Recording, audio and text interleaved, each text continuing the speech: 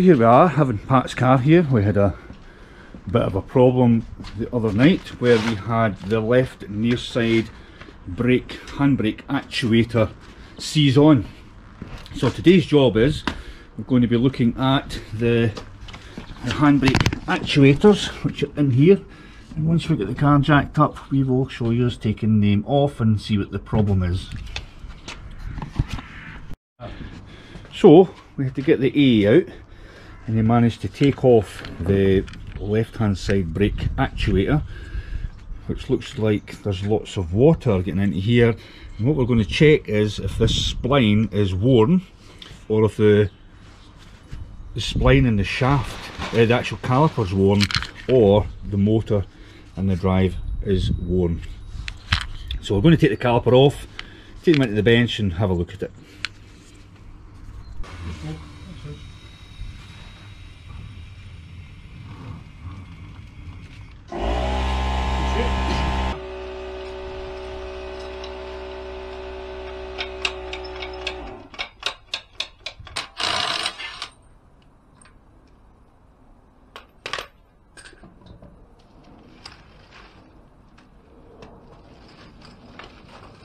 No, you're talking.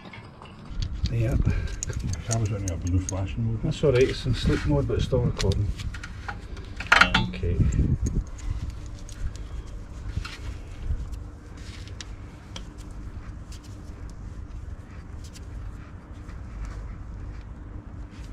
Uh,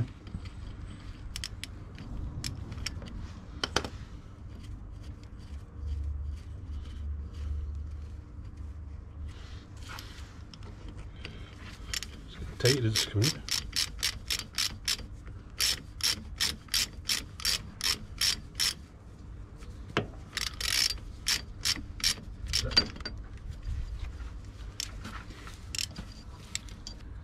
that caliper should literally lift off. What's squeeze? Shouldn't it?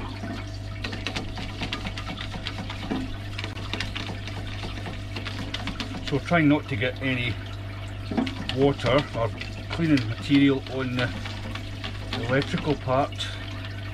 I don't take the two Look at that, look, put the muck in there, see it? Aye. Well, we'll take the two wee bolts out so you don't, so we're not on the road type of thing. Well there it's there, look. If you look very very closely to that you'll see that's cracked.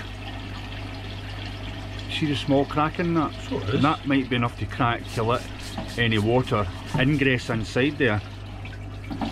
So maybe that's why the water's getting in there. So if that's cracked, to me that was, means that's been off and on again. Aye. Or somebody's tightened it up too much. Because the torque on them is not very much. No. But that could be it. Hopefully we can see that in the camera. Small crack there. It's cracked right down. right Which means it's um, done. But we can still test if that spline is still going to fit in there. Aye. Camera.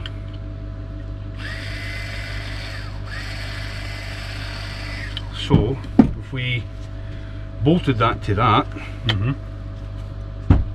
maybe that's what's spinning there. What about this? You want to put this on first or just leave I will this put the wee clip on. C-clip. Just a wee pair of pliers maybe. Or squeeze that one. Watch it doesn't ping everywhere now. I can't see for your hand. Wait, go on. That's that. And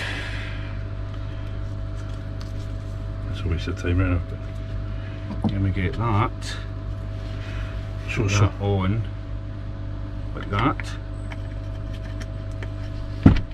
There's your wee bolts. over there. Just beside, beside that can. Just put them in. So, came to the conclusion that this is knackered. And what we've done was we've burst it open, taken bits off it to let us see inside that.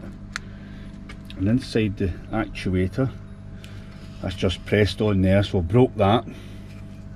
And here's how it's operating. We've got a belt, and the motor's driving the belt. And there's a gear. But what you can see is the amount of water that's in there.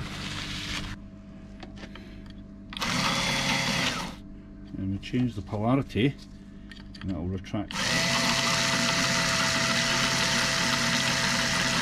But it looks like there's a lot of water in there so there's water could have been in the motor. Although it's spinning freely the now, I don't think it's got enough power to drive the... Under load. It's just sitting in there. Let me try it again. 40 bits.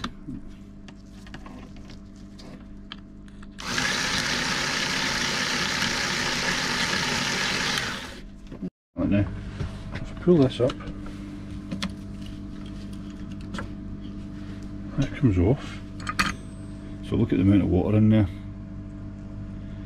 The amount of water in there. I'll take the belt off.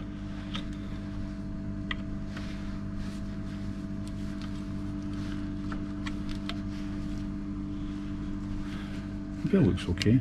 Mm-hmm. That's what I'm saying. The teeth on the belt and the teeth on the cogs look alright. That's a that's a wee spline that drives a number of wee gears. Right. And then if I do that, there's all the Right. gears. Look at the water in there. So I wonder if there's probably lubrication in here. Mm-hmm. Yep, that's that. So I've got a new caliper ordered, which will come with the motor. And we're now going to put the caliper back on without the motor eh, as a temporary measure until we get new calipers delivered.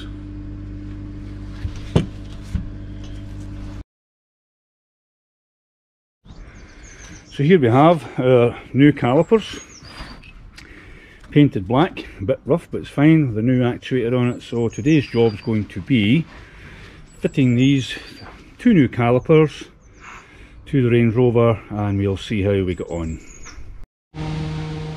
So we've got a new crush washer for the banjo. Let's see if that fits on there.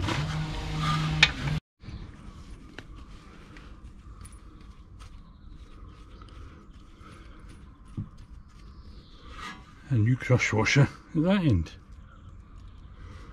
Two new crush washers. What's the torque on that? I think it's 140. Is it? I remember correctly. new carrier on. Just need to put these 15mm bolts in position.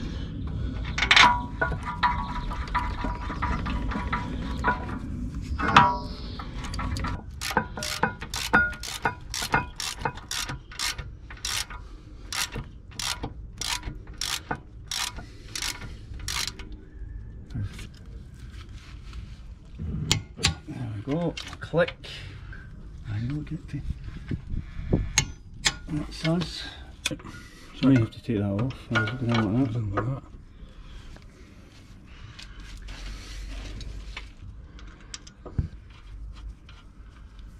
Oh, and hold on a minute. I need to put the pads in first.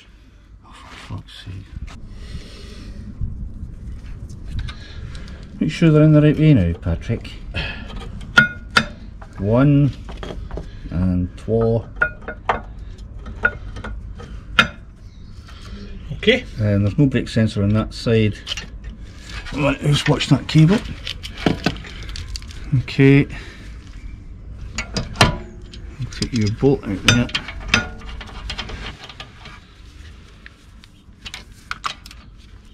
That's fine. Crush washer. Spin it off?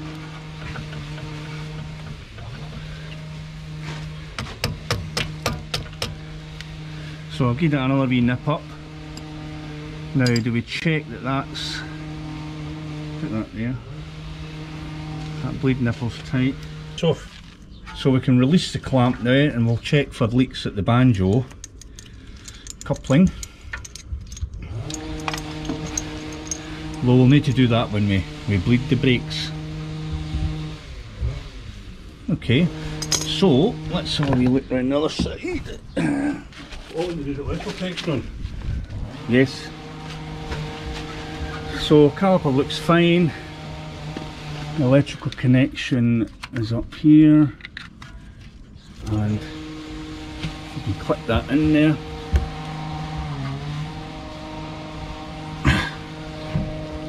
That's it. That's it, and I think it's not moving. good slider pins. So, what we'll do next is we'll bleed the brakes. Mm-hmm. And check for. check for leaks, then we'll test it Aye. before we move on to the next one because we know the other one's a, a known working one. Right. So now that we've got the caliper on, we're going to bleed the brake, but only also to flush the brake system while we're at it. So we're going to take all the fluid from the reservoir and we're going to flush it as per usual procedure with our vacuum hose and see how we go from there. Okay, so we shall vacuum out. Tell me when to There go. you go.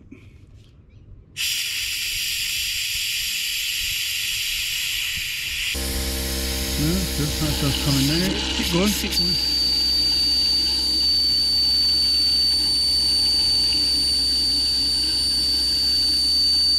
Okay, that should be on.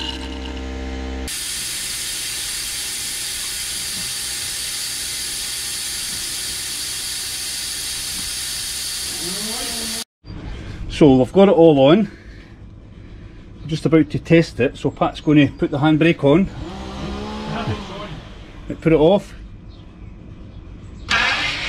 There you go, and on again. Yeah, that's working fine. So we had a bit of a problem. Uh, it seemed to be so we took the caliper off, wound the piston right back, made sure it was on, put it back on again, it worked fine. So one down, one to go. So that's us done the near side rear. I'll move on to the off side rear where this caliper is functioning properly and it should be working fine. So we're now going to do the same with this one. We're going to try and put it in a service mode so as we can pull the caliper back into position. The other new caliper um, seemed to be out of sync when we put it on, it wouldn't work properly, but now after we pulled the caliper, pulled the piston back, it seems to be working fine.